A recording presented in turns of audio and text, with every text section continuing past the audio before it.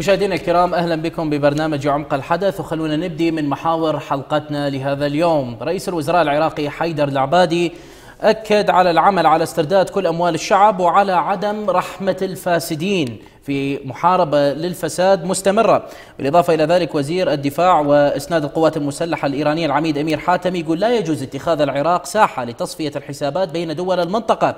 بالإضافة إلى ذلك العراق يقصف مواقع لداعش في سوريا واعتبر العراق هذا الأمر وهذه الضربات هي ضربات مؤثرة وحيوية ضد التنظيم الإرهابي. وأيضا رئيس الوزراء العراقي حيدر العبادي يوجد اليوم وموجود على قائمة مجلة تايم الأمريكية ضمن الشخصيات الأكثر تأثيرا في العالم. والأمين العام لمجلس الوزراء مهدي العلاق قال المجلس وافق على ضم الفصائل المسلحة الأزيدية إلى القوات المسلحة العراقية والحشد الشعبي.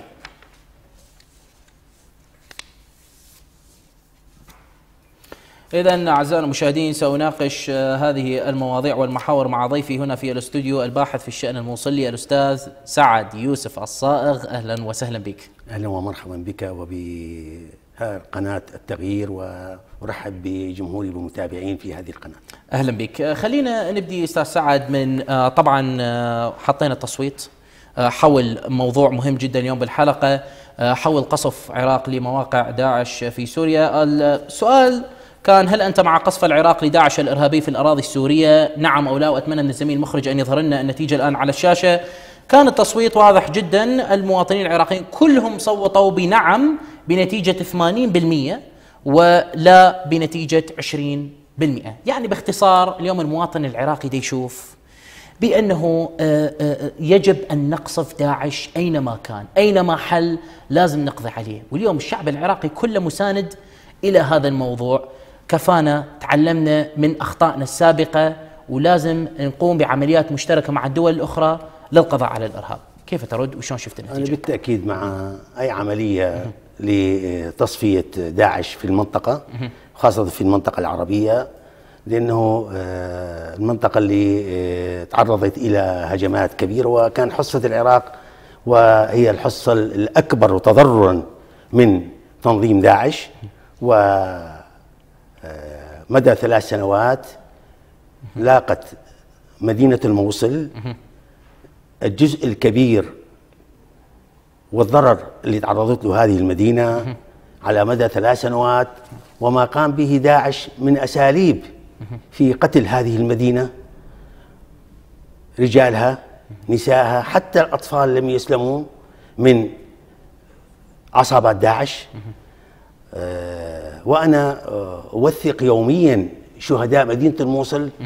وعندما أشوف وأقرأ يصني آه هذا الشهيد أسبابه أنه طفل عمره سبع سنوات يقصف بطلقة من داعش وهو في باب داره ورجل مسن عمره 88 سنة ينقل ابنه إلى أقرب مكان لغرض العلاج ف ومعه حفيده يقوم داعش بقتل هذا الرجل الكبير اللي عمره 88 سنة وابنه الطبيب وحفيده في وامرأة تتكلم بجهاز الموبايل مع أقاربها وتجي الإخبارية وتعدم في أمام دارها.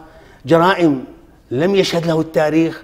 ولم تشهد مدينة الموصل منذ تأسيسها عام 600 إلى حد الآن 612 إلى حد الآن. فجرائم داعش شوفت الويلات وسقوط الموصل وتابعها المحافظات الأخرى طيب. اللي أدت إلى دمار المدينة. زين بس أكو معلقين اليوم من اللي صوتوا لا؟ باللي هم معارضين لموضوع قصف العراق لمواقع لداعش في سوريا. يقول لك هذا شأن سوري. إحنا مهمتنا إنه نأمن الحدود العراقية. هذه المنطقة معنية بها الولايات المتحدة الأمريكية بالقصف مو إحنا. ليش ندخل نفسنا بموقع بدولة أخرى؟ وإحنا حقيقة يعني يكفينا ما علينا. عندنا مشاكل تكفينا. ليش ندخل هذه الدخلة؟ هذا تعليق أحد المعلقين اليوم على هذا السؤال. هو ضرب داعش في داخل العمق الأراضي السورية. الغاية هو اتفاق سوري عراقي إيراني روسي. زين. اتفاق في محاربة داعش. ضربه داخل الأرض السورية حجة العراق أنه قد يأمن حدوده. واليوم الحدود تم تأمينها بشكل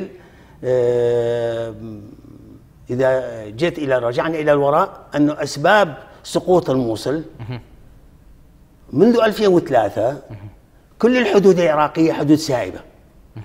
كل من يدخل ويخرج بكيفه. وكان دخول داعش من الجهة الغربية لمنطقة الصحراء من سوريا دخل بدون آه، رقيب بدون محاسب وإلى أن دخل. الأحياء السكنية طيب.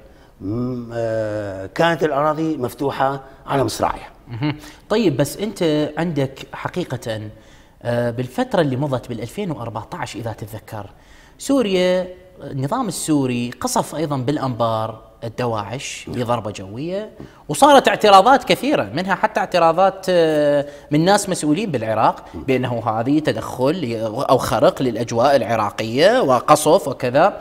ليش اليوم الأمر هذا أصبح مقبول؟ بينما بالماضي كان ما مقبول نهائيا. وحتى البعض قال يعني هذه آه، تقريبا تشابه تشبه آه، السياسة الإيرانية. يعني آه، إيران تحب تدخل بالبلدان الأخرى. فالعراق اليوم دا يقصف ودا يعاون نعم لكن نوعا ما يقول لك هذه تختلف عن بعضها. هل هي فعلا تختلف؟ العراق لأول مرة يستخدم هذا الأسلوب بالتدخل بالشأن دولة جارة هي سوريا. بس هو اتفاق بيناتهم. من 2003 كل الدول سواء الدولية أو الأقليمية تدخل بشؤون العراق. والعراق لا يتدخل بل لا ينطي رأيه في شؤون في شؤون تلك الدول.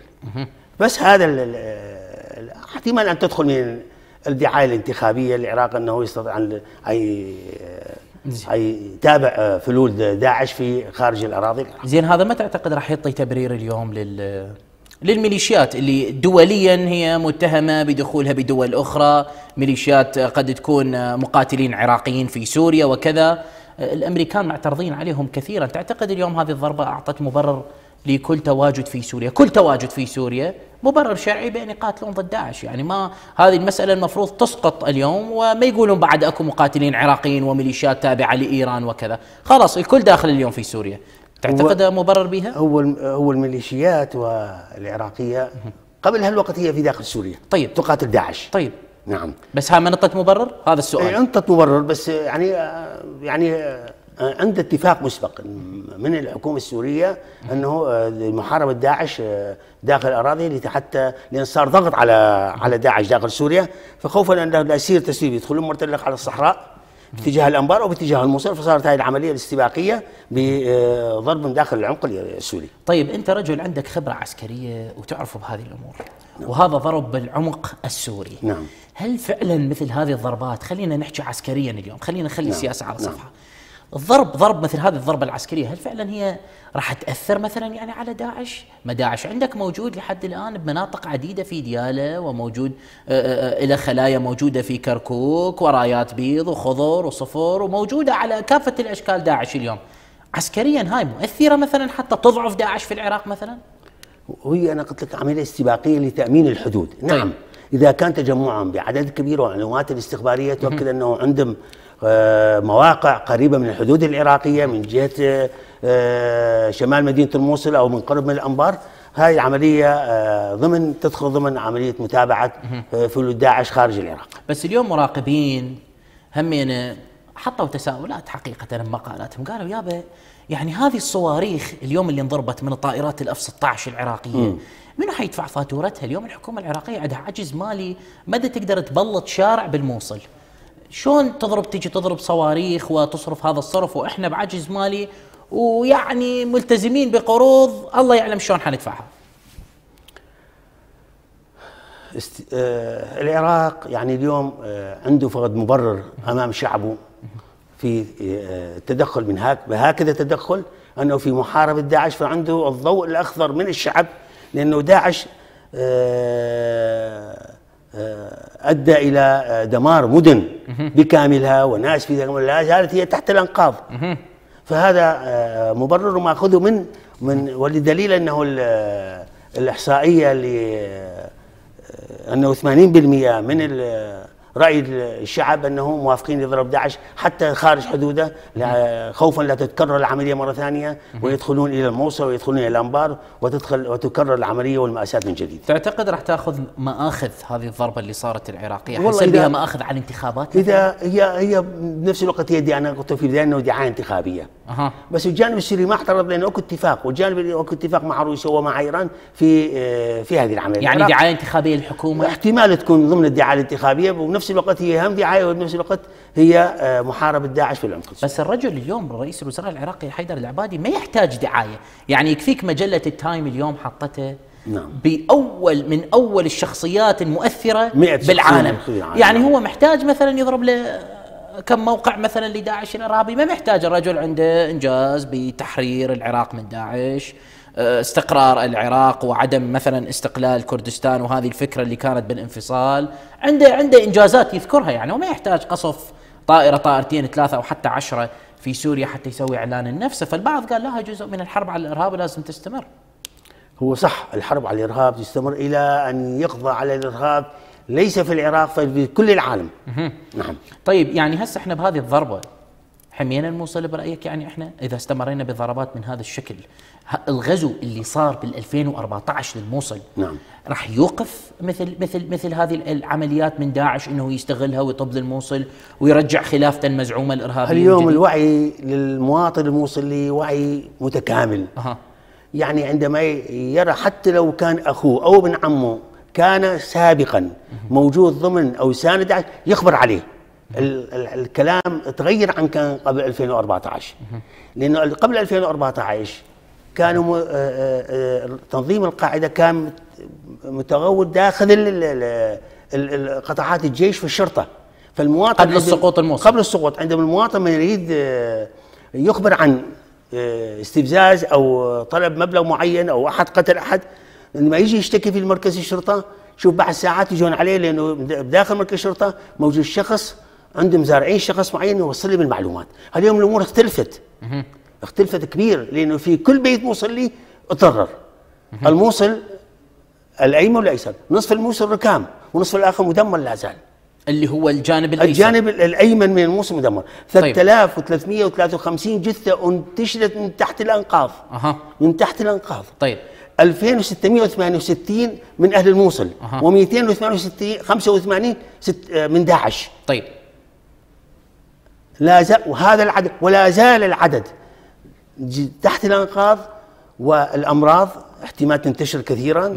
ونرجع إلى الجثث وين راحت؟ راحت إلى الطب العدلي. طيب. لا زالت جثث متقطعة الأشلاء. وتجيني عندة مناشدات عن طريق التواصل الاجتماعي بأنه يجون يراجعون الطب العدلي في الموصل يط- يطلبون آه، جثث آه، أبنائهم. والطب العدلي ما يعرف أنه هاي اليد إلمن هذا الرجل إلمن. معقول؟ الطب العدلي ما يعرف؟ فحوصات طبيه على الدي إن اي أنا تكلمت مع رئيس مدير الصحة مدير عام الصحة جيد. لأكثر من مرة. قال لي اطلب لي حصل لي موافقة الأمن الوطني. أنا حصل موافقة الأمن الوطني لو أنت كرئيس دائرة. مع هذا يعني يطلب منك أنت تحصل نعم. الموافقة. معنا باسم طيب. العوائل قدمت طلب وأحد الأشخاص ال- النشطاء بالموصل توجه إلى الأمن الوطني وقال ما عنده مانع بس الر- الطلب رسمي من رئيس الدائرة.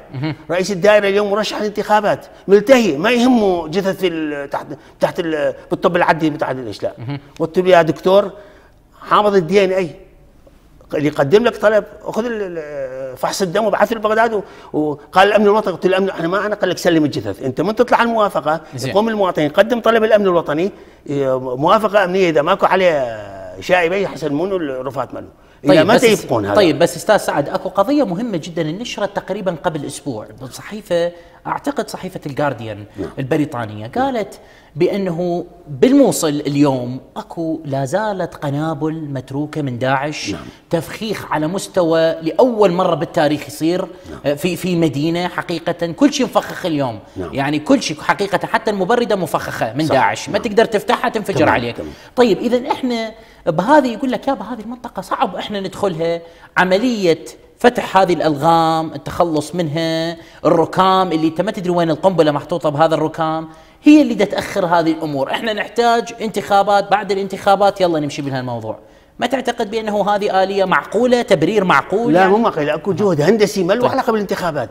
جهد الهندسي العسكري منظمات آه، آه، فرق آه، متخصصة دولية في بمعالجة الألغام ومعالجة المتفجرات ممكن أن تقوم بهالعمل هذا طيب أنت ناشدت الطب العدلي مو صحيح؟ نعم. طيب ليش ما ناشدت مثلا خلينا نقول منظمات دولية مثلا الامم المتحدة راح تسمع لك ما راح تقول لك لا تقدمت إحدى المنظمات الصغيرة إلى الطب العدلي لطلب وضعه فمنع مدير الطب العدلي بأنه ما عنده موافقة وما تقوا يشتغلون فتوجهوا علي توجهت مع مدير عام الدكتور فلاح حسن طيب. وعدني قال أنا مستعد أتعاون معك بس آه إلى متى؟ يعني هسه من دخل بالانتخابات مثل ما تفضلت الشهر الأول راح ندخل وصار يصير انتخابات النتائج ويتغير و- إذا فاز هو راح يتغير رئيس الدائرة يجي وهكذا. يعني آه أنا أناشد الصليب الأحمر الدولي والهلال الأحمر الدولي كل المنظمات بعمل قاعدة بيانات بعدد الشهداء عدد الأيتام الدمار حجم الدمار اللي حصل. موصل خسرت 41 مليار دولار من جراء الحرب. آه، حرب دخول داعش عليها ومن جراء تحرير مالها. طيب.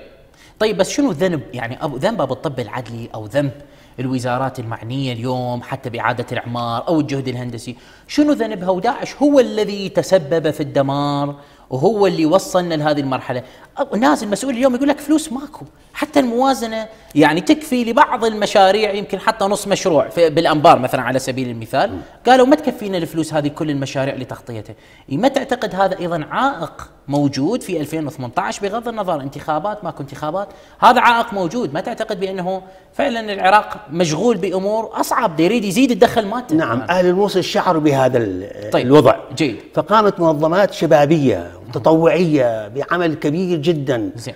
وسموها حملة الدنابر. في منطقة موصل منطقة آه، أزقة آه، ضيقة جدا. ما تدخل الشباب فعمل على تنظيف هذه المدينة بس هذا لا يعني أنه تعفي الحكومة من هذا العمل. طيب بس رئيس جامعة متقاعد الدكتور سعد الله توفيق. طيب بس أنت عندك جامعة الموصل اليوم بها نعم. طلاب. الجانب الأيسر يعني يبدو آه، أسواقه تبدو بحالة جيدة ما نعم. نقول لك عظيمة. نعم. بس جيدة يعني الحياة مشت. نعم. لكن الجانب الأيمن له وضعه الخاص كون المنارة الحدباء موجودة نعم. داعش أعلن منه دولته آه، الإرهابية من هناك وضعها شوية كان مختلف المدينة القديمة وضعها يجب أن يترجل المقاتلين للقتال نعم. الترجل العسكري نعم، تعرف نعم. هذه الأمور قتال المدن قتال صعب والقصف يعني يؤدي إلى دمار هائل لما يصير بهيج مناطق، طيب يعني أنت بهذه الحالة الموضوع يحتاج يا سيدي الكريم، أنت العراق لحد الآن ما بدأ الإعمار أصلا في أي مكان، يعني ليش نركز فقط على الموصل؟ لماذا الموصل أنت برأيك إعادة أعمارها يختلف عن المحافظات الأخرى مثلا على سبيل المثال؟ آه، نسبة الدمار 80% موصل. طيب. آه، مستشفيات دمرت. تسع مستشفيات مجموعة 308 مدرسة. 16 حي سكني. دمر. عوائل لا زالت تحت الأنقاض. لا زالت أنا أتكلم تحت الأنقاض. إلى حد الآن. لحد الآن. ونواب الموصل لا زالوا ملتهين بالانتخابات. واليوم شوفوا يتجولون بالمناطق أت- يعني آه، والله يعني أتأسف من عضو بالبرلمان يترشح للبرلمان يفتر على عوائل آه، يستغلن في. آه، كيس من البطاطا يضع عليه آه، الكرت ماله أو قط قطعة من الدجاج المجمد يخلي اسمه عليه حتى. يصوتوا له وهذا هذا أقول عليه هذا عضو فاشل وعضو مفلس. مفلس لأنه ما محصل شيء أربع هذه- سنوات. زين هذه مو بادرة خير لما يجيك مرشح جديد للموصل ويجي يساعد الناس ويساعد النازحين ويقول لهم بأنه إحنا جايين صوتوا لنا خلينا نكون موجودين وحنساعدكم أكثر إحنا بس محتاجين إنه يصير لنا قرار. هذا اللي يدور اليوم النائب بالموصل ال- الناخبون في الموصل عددهم 907 ال- المرشحين. المرشحين نعم 907. في أشخاص ما يحتاجون دعاية. أساتذة جامعه أكاديميين. وجهاء معروفين بالموصل بنزاهتهم راح يغيرون بس هذا ما يتغير كإطار عام ليش ما يتغير؟ ما يتغير لأنه ال- ال- النظام الجديد في استخد... في آه، التصويت في آه، حسب الأصوات آه، يبقى رئيس القائمة على رأس قائمته والأصوات من ال- الاعضاء ماله تصعد له ويصعد مرة من ثانية. الوجوه القديمة. من الوجوه القديمة يصعد زين فمعناته أنت النصف حيتغير النصف الآخر ما حيتغير. النصف اللي ما يتغير. هو حيقود العملية السياسية مرة ثانية. فقرة على العملية السلام. يعني مصر راح تظل هالشكل مدمره أنت العراق كله حيبقى طيب بس أنت اليوم يا سيدي الكريم تدري اليوم أكو ضغط. اليوم أكو ضغط الضغط مو داخلي فقط. المواطنين اليوم صارت عندهم حرية بالكلام. خلاص المواطن شبع. إذا مواقع التواصل الاجتماعي أو بالشارع صار يحكي كل شيء. حقيقة. ويقول أنا ما وبعضهم طلعوا وقالوا إحنا مقاطعين الانتخابات بكل صراحة. صح. طيب عندك ضغط دولي. أكو ضغط وأكو قروض وأكو شركات اليوم دفعت أموال ودا تريد مردود على هذه القروض. والعراق مجبر إذا عجبه أو ما عجبه بأنه يبني هذه المدن حتى يرجع فلوسه وحتى يبدي يربح. وإلا بالأخير الحكومة العراقية عندها مشكلة مالية لازم تحلها. ما تعتقد اليوم هذه لما يصير قرض وشركات ملتزمة هذه الأمور؟ مو بكيف أحد اليوم واحد فاسد يبوق أو كذا. إنه مشاريع لا راح تتغير حتى لو بقى الوجه القديم، الوجه القديم تعلم من مشاكله، مو صحيح؟ مؤتمر الكويت تغير العنوان منه من منح إلى قروض، طيب. حمل العراق ثقل كبير. هذه القروض تدفع بعد كذا سنة طيب. تخلى عليها آه فوائد كثيرة ويحمل ثقل مع هذا لم يدخل إلى حد هذه الساعة دولار واحد من القرض لإعمار المناطق محافظات العراق. ليش برايك؟ ليش برأيك؟ ماكو ثقة يعني مثلا؟ يعني هم حتى في مؤتمر الكويت كانت مقترحات الشركات اللي اللي والدول إنه آه، تدخل شركات من تلك الدول تقوم بالأعمال لأنه ماكو ثقة. لأنه آه، نصفه تروح لل آه، وين هاي؟ وزارة الكهرباء. هاي 15 سنة. لسه ما تحسن. مليارات صرفت وعدة وزراء. طيب. ورجع مرة ثانية يرشح الوزير. ويظهر من جديد. ما استدعوه انت البرلمان وحاسبونه. وين الجواب؟ طيب. هذا اذا يبقى الفاسد فاسد وأنا أقول من ينتخب فاسد فهو فاسد. طيب بس أنت اليوم الحرب على الفساد واضحة جدا والمواطن اليوم ما يحتاج تقول له هذا فاسد لو مو فاسد. يعني رئيس الوزراء العراقي حيدر العبادي طلع قال يابا أني لا قاضي عدل ولا محقق ولا إنسان عندي ما عنده ما يقدر يلزم كل الفاسدين ويدخلهم بالسجن. حقيقة هذه. قال المحكمة هي المسؤولة عن هذه الأمور. إحنا رجال نحاول نجيب أدلة وفقط. أما إذا قال اعطوني تخويل كامل بس إذا نطوت تخويل كامل راح نرجع للدكتاتورية. الرجل عنده نظرة واضحة جدا عن الموضوع. بالتالي الحرب على الفساد يا سيدي الكريم لا راح تخلص باكر ولا راح تخلص بعد سنة ولا بعد سنتين. العملية برأي الكثيرين الناس الواقعية يقول لك الوضع مطول. بالتالي إحنا ما نقدر نقول والله فساد وهذا وما راح ينبني العراق. وجه قديم راح يجي وكذا. بالعكس المواطن اليوم اليوم ده يطالب واكو حتى تظاهرات يا سيدي الكريم. التظاهره إذا ما بها نتيجة ما تفيد. أنا لاحظ على شاشات التلفزيون؟ عوائل لأيتام وفقراء ومرضى وعوائل الشهداء يستجدون وهم على كاميرا التلفزيون. والله عيب. عيب على حكومة وعيب على حكومة محلية أبناء وشهداء. لليوم شهداء الموصل المسجل رسميا لك لدى قاضي اللي آه، مسؤول عن آه، معاملة شهداء 7000 شهيد المسجل. وبعد عدد مماثل ومماثل لدى الأمن الوطني ينتظرون الموافقات. أه. يا حكومة هذا شهيد آه، هاي هك هكذا يجازى الشهيد هكذا يجازى عوائل الشهداء. اصرفوا لهم منحة معينة لأنه هذا هو كان رب الأسرة استشهد. من يعيش هاي المرأة ومعها سبعة أطفال؟ من يعيشهم؟ طيب بس أنت أكو قضية مهمة جدا صارت لما تحررت مدينة الموصل. طلعوا دواعش مع الأهالي. وكشفوهم موجودة أفلام على اليوتيوب. الآن أي واحد يريد يكتب آه، داعش آه، عناصر داعش يخرجون مع ال ال ال النازحين أو أهالي الموصل. طلعت وظهرت بالصور مع عناوينهم. بعضهم قدروا يقبضون عليهم بعضهم يعني تحولوا إلى مخابرات. لما تعتقد هذا الأمر أيضا إلى جانب هذا ملف استخباراتي صعب لا يمكن حله في ليلة نعم وضحاها. نعم. أه بدخول داعش يوم 10 6 سقوط طيب. الموصل أخرج من السجون ثلاثة آلاف سجين من مدينة الموصل. 2700 تقريبا من بادوش والباقي من آه، سجون القوات الأمنية. هؤلاء بالتأكيد يعني إذا آه، من من من احتفلوا بمنطقة نصر التحية بداعش وظهروا هذول ليس أهل الموصل هذول عوائل السجناء. ولو توجهت اتهامات ابن ابن الموصل عدا نفر ضال خرج عن عائلته وعن عشيرته وهذا قسم منه حتى تبرؤوا منه في آه، من عوائد تبرؤوا من أولادهم.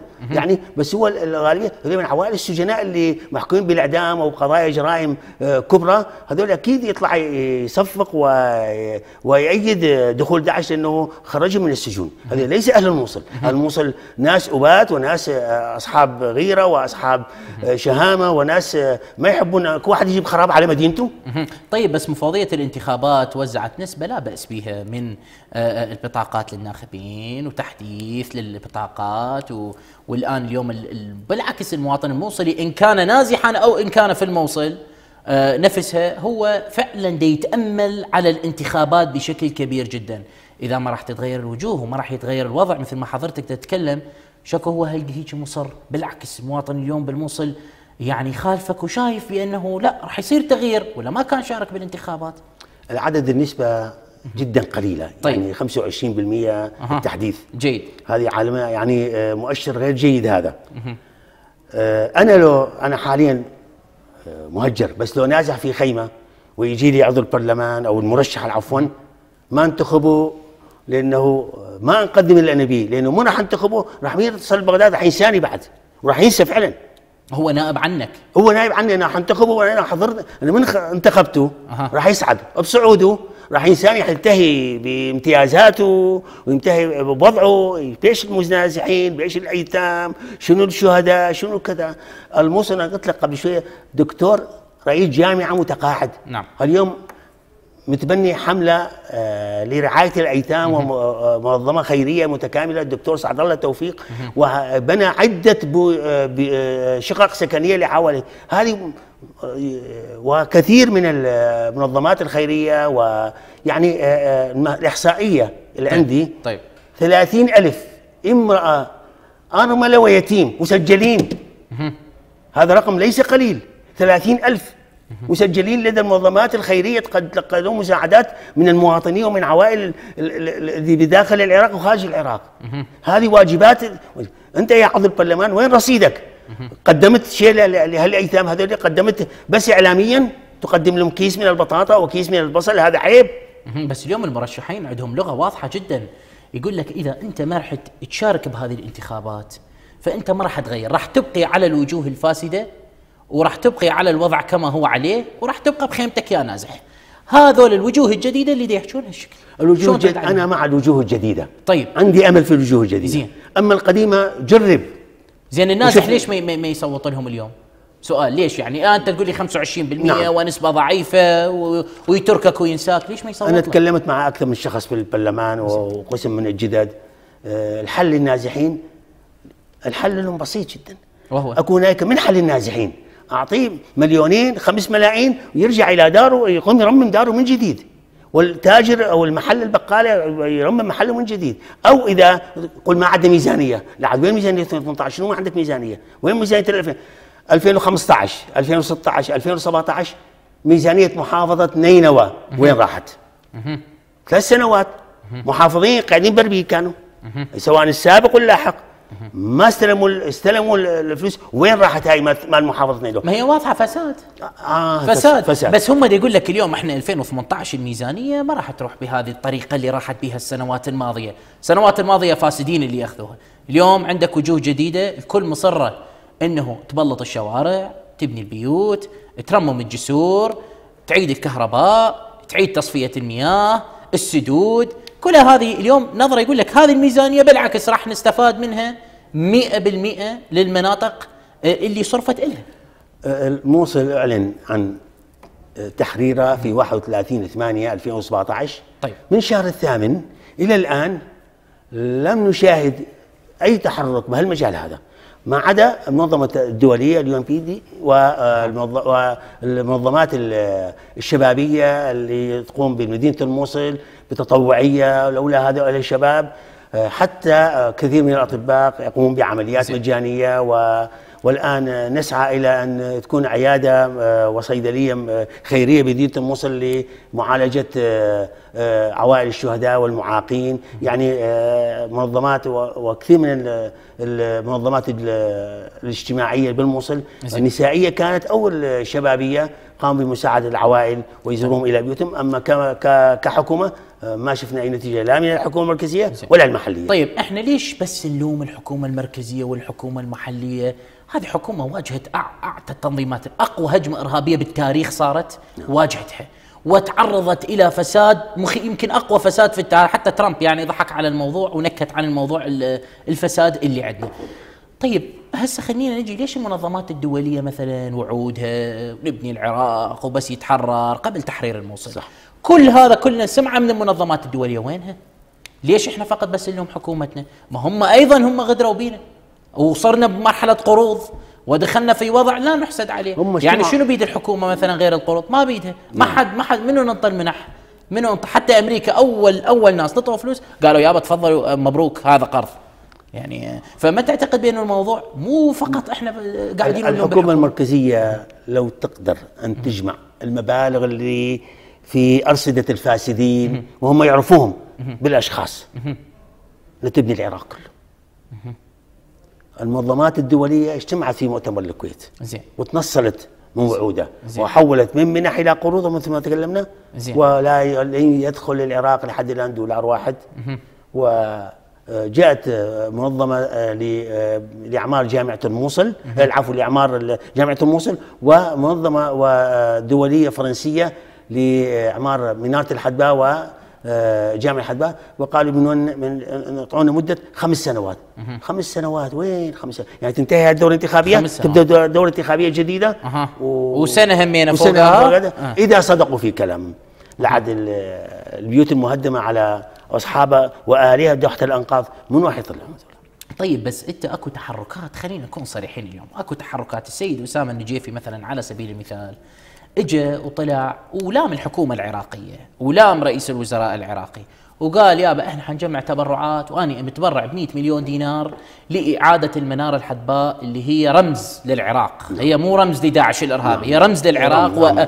و... وتراث مهم جدا لكل عراقي نعم، نعم، من. الشمال إلى الجنوب نعم. طيب هو الآن قال إحنا نجمع تبرعات ونهتم بنفسنا بمدينتنا إلى أن الأمور تتغير وتنحل طرح هذا الطرح وأيضا عندك الإمارات كانت مهتمة أيضا بإعادة أعمار منارة الحدباء مثلا على سبيل المثال أو الجامع الموجود آه، الجامع الكبير الموجود ب- بالموصل.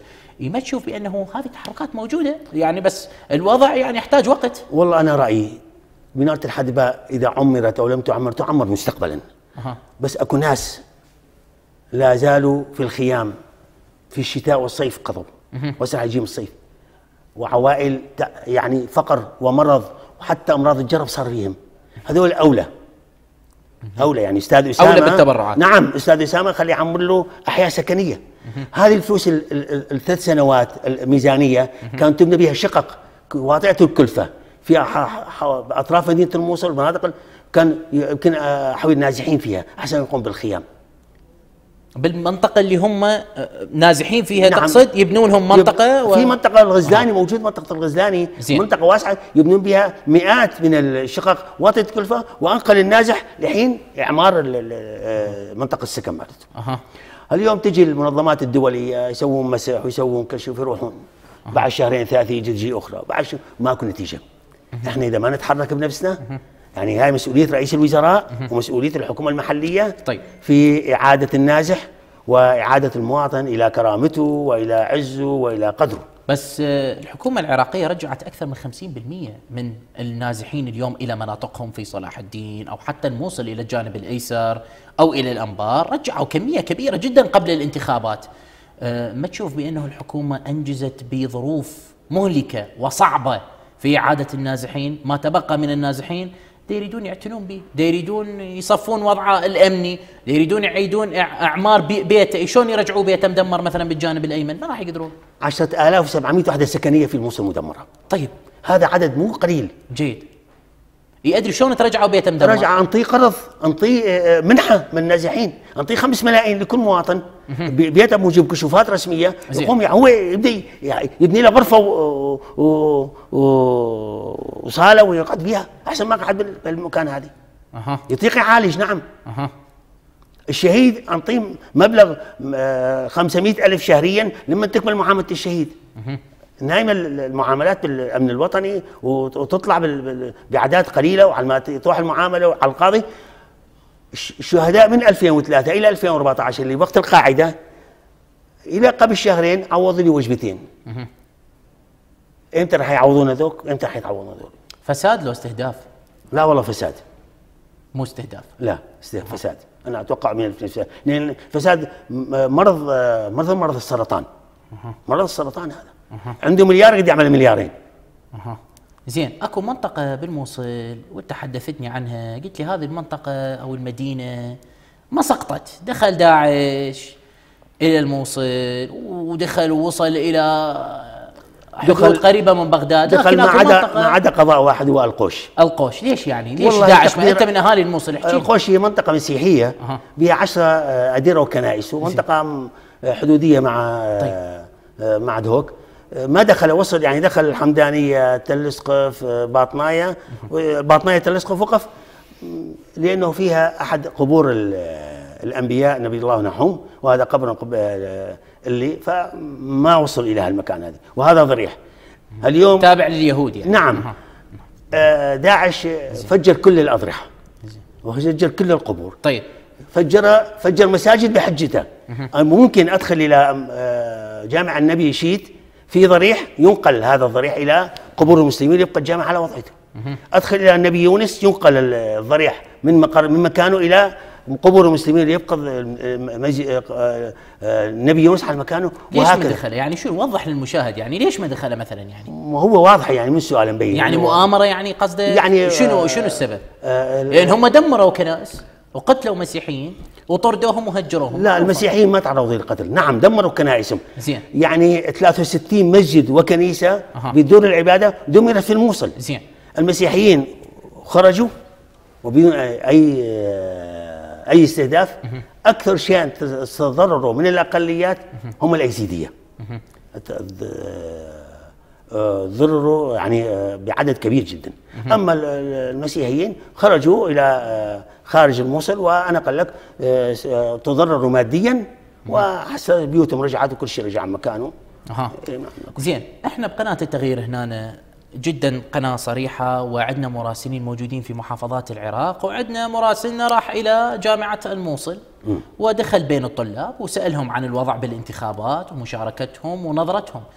الأغلبية أكدوا بانه هم ينظرون للانتخابات بنظرة إيجابية بنظرة إنها راح تغير هذول طلاب ناس مثقفة نعم. ناس تدرس ناس مهتمة في مدينتهم صح. وفي عراقهم طبعا آه يعني آه هذا الشباب الموصلي اليوم ينظر بهذا الشكل نعم. للانتخابات ليش هذه النظرة المعاكسة اللي موجودة بمواقع التواصل الاجتماعي ومقاطعة مقاطعة وما تغير شيء ولا تصوتون هذا الشباب اليوم هذه نظرة شجاعة للشاب العراقي دي يشوفها إنها مرحلة مفصلية نعم. غير عن الانتخابات اللي راحت. المرشحين اللي ظهروا من الجدد أكثرهم من الأكاديميين مثقفين أدباء أساتذة الجامعة عسكريين قادة ضباط طيب. آه لهم مكانتهم وسمعتهم الطيبة.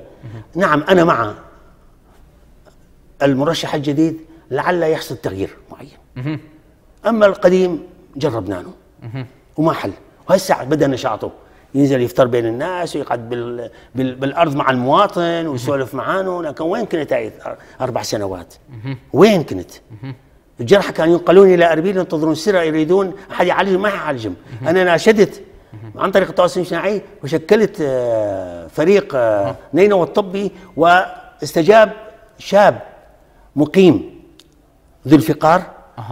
بتلبية طلب وجمع عنه عشرة مقيمين جيد. في مستشفى أهلي وانضموا إليهم بعدين فيما بعد أخصائيين وقاموا يعالجون آه، أثناء عمليات تحرير موصل كثير من الجرحى وعمليات البتر وما بتر هم قاموا يعالجون. أها. نعم. طيب. أما آه، كان كان على المسؤول ال- آه، الممثل الموصل عنده إمكانية كان يشتري مو- ما نقول يشتري يأجر كان مستشفى في أربيل ويعالج كل الجرحى وعنده الإمكانية. طيب والمساعدات الإغاثية نعم. لأهالي الموصل نعم. أنت عندك معلومات أفضل نعم، من أي نعم. شخص ثاني نعم.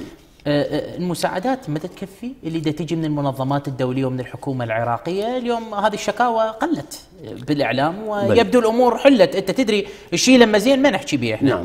بس من لما لما لما تصير المشكلة كبيرة لا تنحكي بشكل كبير جدا هذه المشكلة على ما يبدو حلت بالمساعدات دا توصل كافية. نعم قلت لأنه عدد من النازحين رجعوا إلى دورهم. طيب. وقسم رجعوا إلى الجانب الأيسر بكلفة إيجار غالية بس ما حدا يمشي أموره عيد نزل يبدا يعني يمارس عمله اليومي في سبيل يمشي أموره.